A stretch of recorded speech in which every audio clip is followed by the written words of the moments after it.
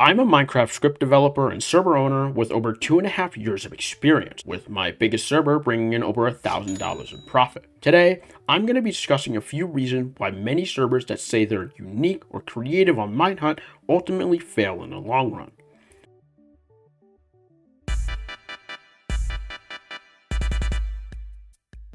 For starters, your server won't retain players if you don't explain the gameplay clearly or effectively. Even if your server is fun, how can players enjoy it if they don't have any idea what to do? This is a mistake that I've seen countless servers make. Much like a YouTube video, a Minecraft server has about 5 seconds to make an impression before a player decides if your server is worth playing. Notice how in this video, I didn't give you a drawn out introduction that you didn't want to listen to anyway. I cut right to the chase. I told you I'm an experienced script developer who has owned many successful servers, and then I got right into why you clicked on this video. This same logic, albeit with a little tweaking, applies exactly the same for a Minecraft server. If a new player logs on and they don't immediately have a clear sense of direction or what the objective is, they're gonna log off. When it comes to server owners failing to give direction, I see two extremes of this all the time. There are the servers that have essays in the spawn region and shove endless streams of text down new players' throats, and there are servers that don't explain anything at all. Both scenarios are equally as bad. This point ties into my next reason rather well. These quote unquote unique servers fail because there's overall a lack of organization. This idea splits into two parts. There's the visual side of things and how easy on the eyes a server is, as well as the structure of the gameplay itself. For the visual side, things need to be appealing to the eye. Pick a color scheme for your server, something that makes sense, and stick with it. Don't use all the colors of the rainbow for your scoreboard or for your holograms, and don't include more information than you have to. It's going to make things overwhelming if you do. I'll come back to this idea a little later on, but the key idea to take away from this is that sometimes less is more. This applies the same to the organization of the content of your server. When making your server, you need to be constantly thinking about how someone else would feel playing the server for the first time and knowing nothing. Even if something as simple as not putting a starter mine in clear view of the player when they spawn in can make them feel confused and not know what to do. Something else I see relating to this idea is that when a server does have a lot of content, they make the fatal mistake of introducing it all to a new player at the very beginning. Don't get me wrong, having a lot of content on your server is generally a good thing. You want to be able to have enough to keep your longtime players coming back. But if you show off all this content at the very start, it can make things feel swamped. When adding middle to late game content, a new player should have little to no idea that the content even exists when they first log in.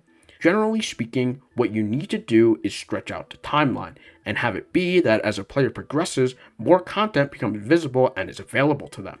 Think of it as a scope, and your new player is in the center. Initially, the player only has a little bit of room that they see around them and that they get access. But as a player continues to play the game, the scope widens and more things become visible to them.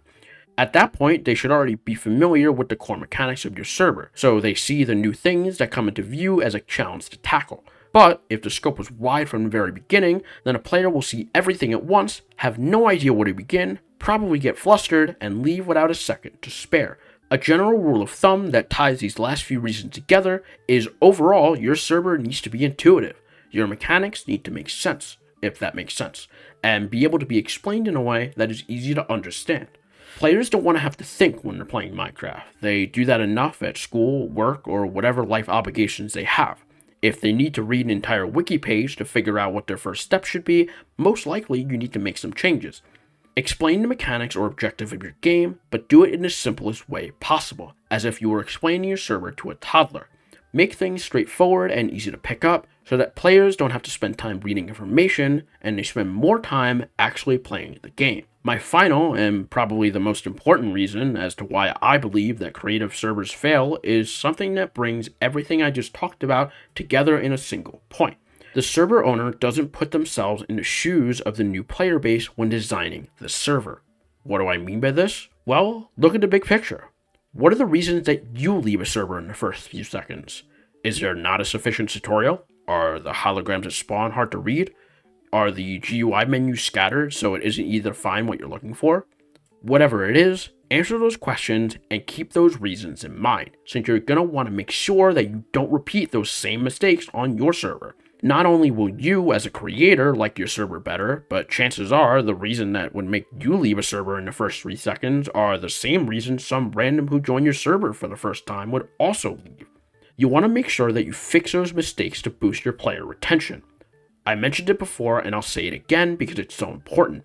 You need to put yourself in your player base's shoes.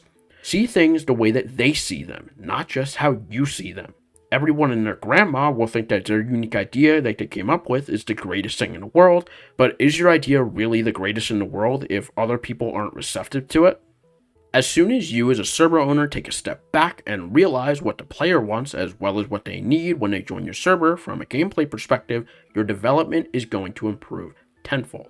I promise you. So those were the reasons why I think that unique servers fail on Minehut. Do you know of any servers that make these mistakes? What about your own servers? Let me know in the comments. Anyway, my name is QBQT. I hope you enjoyed the video. Be sure to subscribe if you did, because right now we're on the road to 10 subscribers. And uh, yeah, I'll see you on the next one. Later.